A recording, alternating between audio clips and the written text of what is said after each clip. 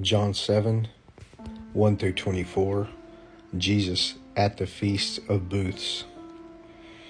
After this, Jesus went about in Galilee. He would not go about in Judea because the Jews were seeking to kill him. Now the Jews' feast of booths was at hand. So his brothers said to him, Leave here and go to Judea, that your disciples also may see the works you are doing. For no one works in secret if he seeks to be known openly. If you do these things, show yourself to the world, for not even his brothers believed in him.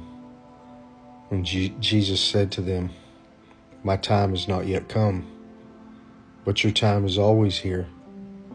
The world cannot hate you, but it hates me, because I testify that its works are evil.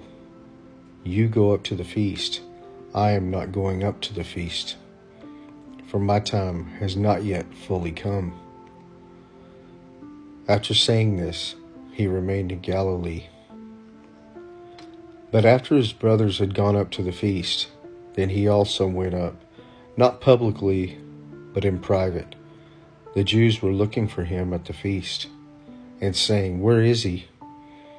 And there was much muttering about him among the people. While some said, He is a good man, others said, No, he is leading the people astray. Yet for the fear of the Jews, no one spoke openly of him. About the middle of the feast, Jesus went up into the temple and began teaching. The Jews therefore marveled, saying, How is it that this man has learning when he has never studied? So Jesus answered them, my teaching is not mine, but his who sent me. If anyone's will is to do God's will, he will know whether the teaching is from God or whether I am speaking on my own authority. The one who speaks on his own authority seeks his own glory, but the one who seeks the glory of him who sent him is true, and in him there is no falsehood.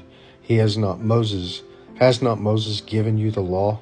Yet none of you keeps the law. Why do you seek to kill me?